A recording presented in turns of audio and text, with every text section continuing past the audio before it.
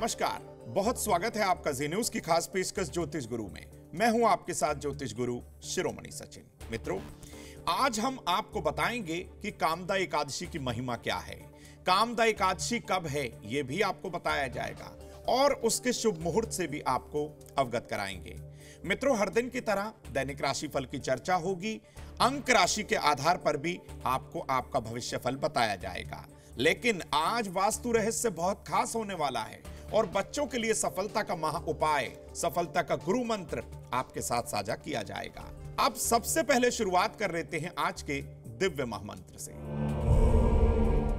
ओम ह्रीम श्रीम क्लीम लक्ष्मी नारायणाय नमा। इस महामंत्र का 108 बार अगर आप कमल गट्टे की माला से जाप करें, लाल चंदन की माला से जाप करें तो यकीन मान के चलिए आपका कार्य बनेगा, आपको धन का लाभ होगा, लेकिन विधि क्या रहेगी? अपने घर की उत्तर दिशा की ओर बैठ जाएँ। लाल आसन पर बैठ जाएँ और एक दीपक जलाकर इस महामंत्र का जाप ज़रूर करिए। आगे की ओर बढ़ते हैं, अवगत कराते हैं आज के पंचांग से। दिनांक 18 अप्रैल 2024 दिन गुरुवार, चैत्र मास, शुक्ल पक्ष की दशमी तिथि, नक्षत्र रहेगा अश्लेषा, उपरांत मघा। चंद्रमा कर्क राशि में ही संचरण करेंगे। उसके उपरांत सिंह राशि में प्रवेश कर जाएँगे। दिशाशूल होगा दक्षिण दिशा, यानी कि दक्षिण दिशा की ओर यात्रा ना करें। अगर आपको मजबूरी में करनी है तो प्रभु का सिमरन करके, भगवान हरि का ध्यान करके यात्रा कर सकते हैं। आइए मित्रों, आगे की ओर बढ़ते हैं, अवगत कराते हैं आज के शुभ समय से। आज का शुभ समय आपके समक्ष है। सुबह नौ से साढ़े दस के मध्य यह समय रहेगा। किसी नए कार्य की शुरुआत करनी है। किसी कागज़ पर, किसी पेपर पर हस्ताक्षर करना है। तो भाई, इस समय का भरपूर लाभ उठाइए, सदुपयोग करिए समय का। लाभ अवश्य ही होगा। आइए मित्रों, अब आपको बताते हैं आज का अभिजीत मुहूर्त। आज के अभिजीत मुहूर्त का समय रहेगा। सुबह ग्यारह पचपन से दोपहर बारह बजकर छियालीस मिनट तक का। तो भाई, इस समय आपको किसी महत्वपूर्ण कार्य के लिए निकलना है। किसी कागज़ पर साइन करने हैं या फिर किसी डील के लिए जाना है तो इस अभिजीत मुहूर्त में आपको सफलता निश्चित तौर पर प्राप्त होगी। मित्रों, ठीक इसके विपरीत होगा राहु काल जिससे आपको बचना है। दोपहर डेढ़ से तीन के मध्य यह समय है।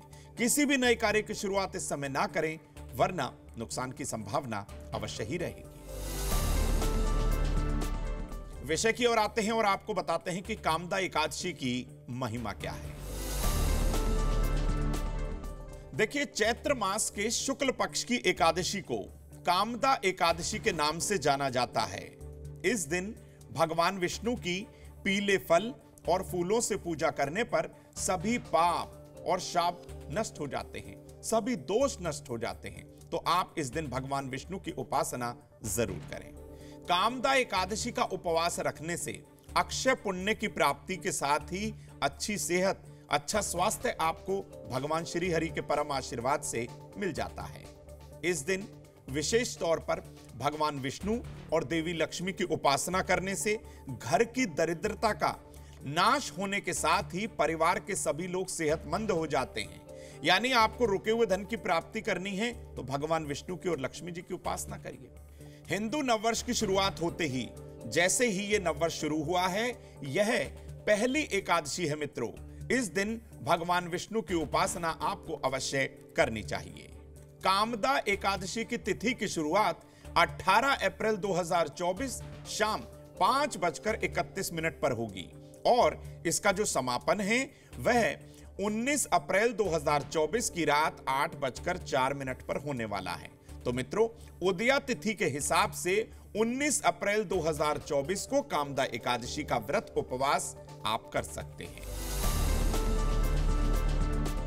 आइए मित्रों, बात करते हैं कामदा एकादशी का वो अचूक और सिद्ध महाउपाय जो हर तरीके से आपको लाभान्वित ज़रूर करेगा। देखिए, कामदा एकादशी पर अपने दाम्पत्य जीवन के कलह कलेश खत्म करने के लिए पीले फूलों की माला पति पत्नी दोनों मिलकर संयुक्त रूप से भगवान विष्णु को अर्पित करें, देवी लक्ष्मी को अर्पित करें। ऐसा करने से आपका दाम्पत्य जीवन मधुर होगा, आपके आपसी वाद विवाद खत्म हो जाएँगे। मित्रों, अक्सर लोग हमसे कहते हैं कि पैसा बीमारियों पर खर्च हो जाता है। तो यदि आपका पैसा भी बीमारियों पर खर्च हो रहा है, बिल्कुल ना घबराएँ। अपने घर के उत्तर पूर्व वाले कोने में, यानी कि ईशान कोण में बिल्कुल इसको नीट एंड क्लीन रखिए, साफ़ सुथरा रखिए और भगवान विष्णु के 108 नामों का जाप इसी दिशा की ओर चेहरा करके आपको करना है। ये नोट कर लीजिए, भगवान विष्णु के 108 नामों का जाप करिए। मित्रों, यदि गुप्त शत्रुओं से आप बहुत ज़्यादा परेशान हैं, गुप्त शत्रुओं ने आपको घेर लिया है, समझ नहीं आ पा रहा कि कौन आपका मित्र है, कौन शत्रु है। परेशान ना हो। सुबह के समय स्नान करके साफ़ कपड़े पहन लीजिए और किसी पीले आसन पर बैठकर नारायण कवच का कम से कम तीन बार पाठ करिए। यह अचूक पाठ है। कभी भी आप इस पाठ को कर सकते हैं, लेकिन इसमें आपको स्वच्छता का विशेष तौर पर ध्यान रखना होगा। कामदा एकादशी के दिन सुबह के समय आप स्नान करें, हल्के पीले रंग के वस्त्र पहनकर अपने घर की पूर्व दिशा की ओर चेहरा करें।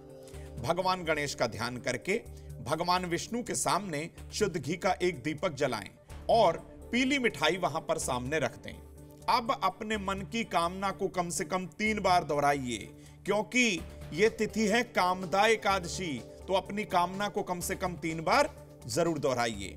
और विष्णु सहस्त्र नाम का पाठ आप कर लीजिए। मित्रों, पाठ के बाद पीली मिठाई का भोग भगवान विष्णु को लगाइए और जरूरतमंदों बच्चों में बांट दीजिए। यह छोटा सा उपाय आपकी किस्मत को चमका सकता है और जरूरतमंद बच्चों का कहीं ना कहीं आपको आशीर्वाद भी ज़रूर मिलेगा।